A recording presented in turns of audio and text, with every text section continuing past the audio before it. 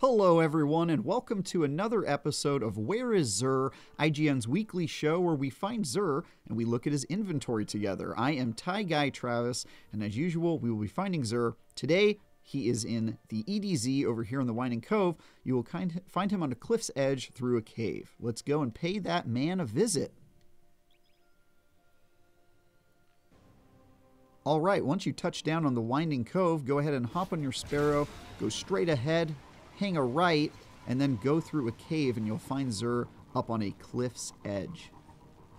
All right, here's that delightful boyo himself. Let's go ahead and get in his inventory and see what he's selling. So first up, he's got the Lord of Wolves. This is a great shotgun. If you don't have it, you should grab it. Um, he's got Raiju's harness. He sold this a couple weeks ago. It's about kind of the same mid-type roll.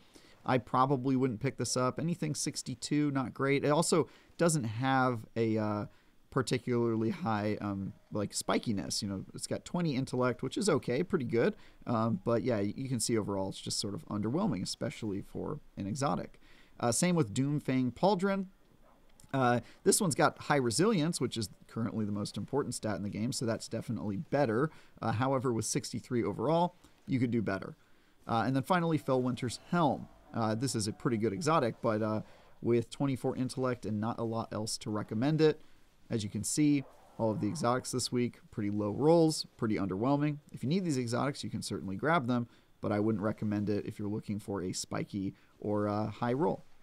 Let's move on to legendary weapons, which is much better this week than the armor. Um, we've got False Promises. This one's pretty good. Feeding Frenzy, Eye of the Storm. Uh, neither of those are bad to have on auto rifles. I'd probably put it in sort of a mid roll overall, though. Let's check here. Yeah, it's got armor piercing rounds, so this is pretty good actually. Um, stability, which is great on uh, on auto rifles. Uh, consider picking this one up. A lot of these weapons are, are pretty decent uh, this week, actually. Uh, Chrysura this one is an example of one that's not as good. I'd probably skip over this one with Encore and Harmony, neither of which are uh, particularly fantastic uh, perks. Yeah, just checking here. Yeah, I'd probably skip over this one. Nature of the Beast, this is one of my picks this week.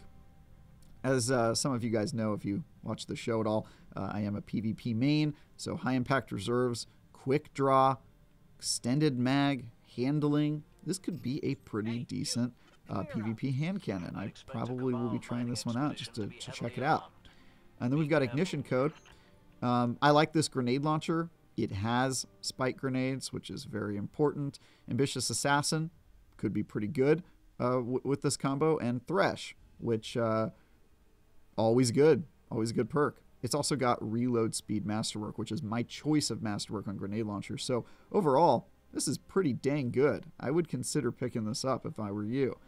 Uh, and then Fractethyst. This is one I think we're going to skip over. I don't really like the role ensemble, Adrenaline Junkie. Eh, it's okay. We've definitely seen better rolls of Fractethyst from Xur before. Blast Battue. So I'll be honest, I've not used this weapon before, um, but it, this role seems pretty good. Spike grenades, moving target, rampage, and a reload masterwork. I kind of saw this and was like, well, look, I've, I've not used this weapon before, but I'm I'm gonna give it a try. I'm gonna pick this one up and see how it performs. Uh, yeah, I'm, I'm I really like the uh, the roll in that one.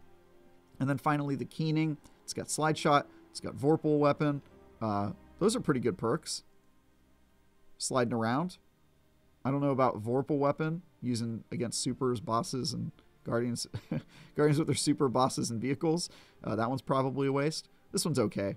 Not my favorite. Uh, we're gonna move on to Hawkmoon, and Dead Man's Tale. So, kind of the skinny this week is the rolls are okay. Got Alloy Mag, Surplus, Polymer Grip. Uh, we've definitely seen better rolls, even in recent weeks on Hawkmoon, and the same can be said of Dead Man's Tale. Not bad. Accurized rounds, snapshot sights. Those are those are pretty good perks for this weapon. Um, doesn't have Vorpal, which I quite like on this weapon, and also this weapon's about to get nerfed, so uh, if it hasn't already. Um, so yeah, uh, overall, not nothing fantastic out of Hawkmoon or Dead Man's Tale, but also not bad. If you don't have one of these weapons or you don't have a, a roll that you like, uh, you could do a lot worse than these.